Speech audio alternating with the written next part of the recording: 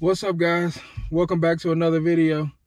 I just got a call from the bike shop and we just got some good news. They said the only thing it was uh, was my cassette was loose.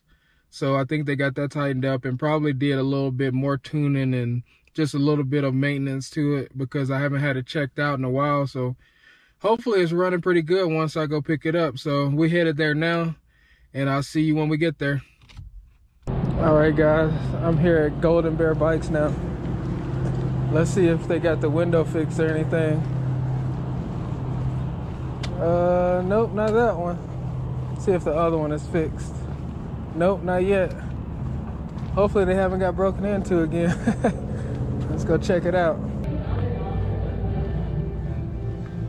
see what they got in here. Oh, they got Marlins over there. Uh, what is this? Top fuel.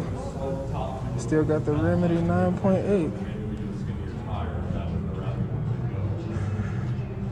No wonder they still got it for that price. that ain't easy to purchase. All right, guys, I'm waiting on them to finish up my bike a little bit. So I saw this bike and it's in my size in a medium. It's a Trek Dual Sport 2.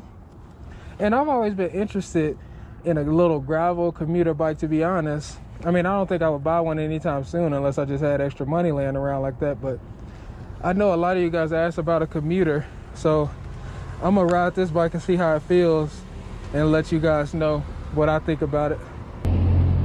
It's cool too because it has the the fork. It doesn't have a lot of travel, but if you get on some gravel and you want a little bit of suspension, it has the fork on the front that you can lock and unlock. So if you on concrete, you can leave it locked and keep the speed. But if you're on uh, gravel or a little bumpy section or road, you can unlock the fork. This thing would be a real nice commuter. I mean, I don't do a lot of commute riding, but if I was commuting, this thing would be sick. I like the way it feels. It's, it's comfortable. The tires are pretty smooth. The handlebars are way shorter than what I'm used to though. But it's still super comfortable. This thing will be so much fun just to ride around on. So if, you, if any of you interested in the Trek Dual Sport, it's definitely a great bike to look at. It's only 669, so it's not too bad, and it feels really good, high quality. You, you feel like you can ride this thing forever. Seat is comfortable, way more comfortable than the Roscoe seat. But you guys know I gotta put this to the test. You know I gotta see if it can wheelie. So let's let's see if this thing can wheelie.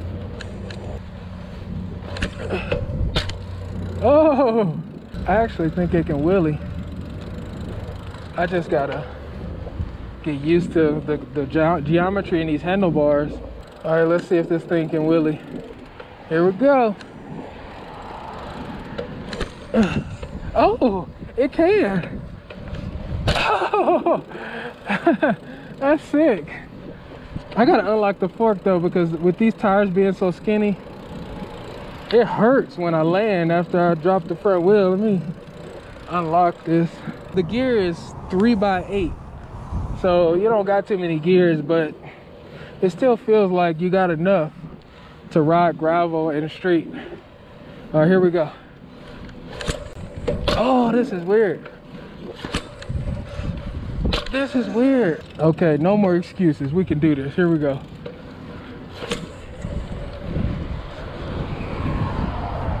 There we go. Still kind of hard to keep my balance. There we go. Yeah, it's hard to keep it straight. All right, I'm gonna try it one more time. I bet these dudes like, where the hell is he on this bike? Let's try it again. I can do this.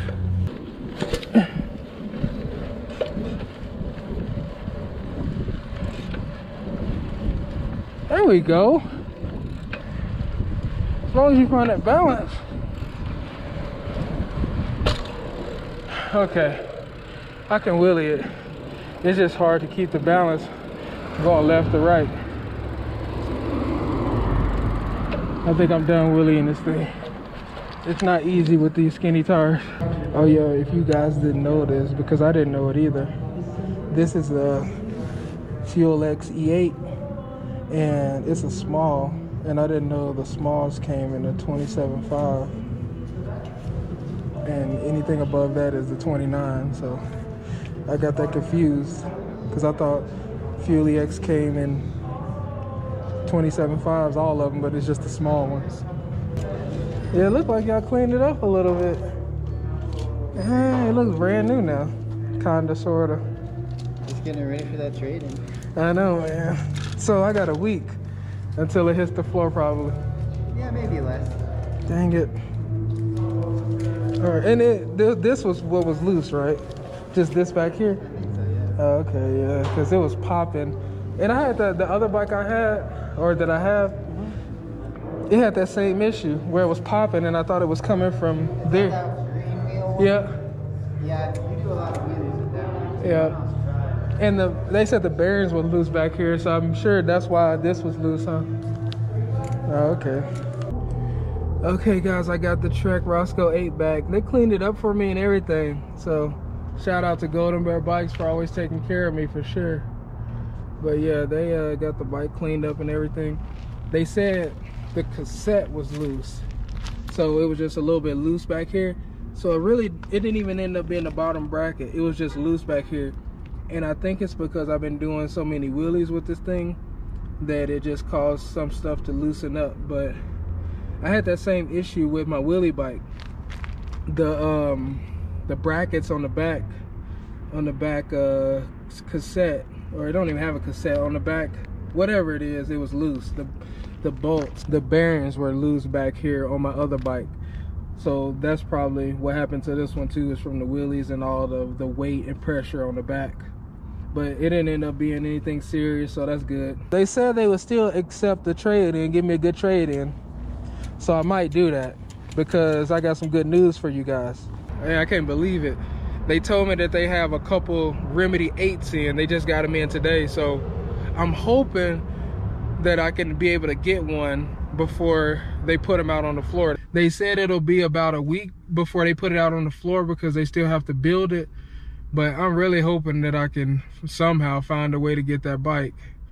And if I got to trade mine in, I will. But I honestly really don't want to. I really want to keep the Roscoe. But if I have to trade it in, then I might do it. But I'm hoping to try to get that Remedy 8 while they have it. But we'll see. But I think that's going to do it for this video. I really appreciate you guys watching. And I hope you enjoyed the little test ride I did on the Trek Dual Sport. I mean, it's not a mountain bike, but I know a lot of people ask me about commuting and stuff like that. So I figured while I was waiting on my bike, I might as well ride that one since they had it in stock and had it in a medium. That was the only option I had to to ride a bike. They had some Marlins and some Roscoes, but they were all small. So I just tested out the dual sport because it was a medium. And I know a lot of you guys were asking about commuting. And that bike is excellent for commuting. But Make sure you like, comment, and subscribe. I appreciate you guys watching, and I'll see you in the next video.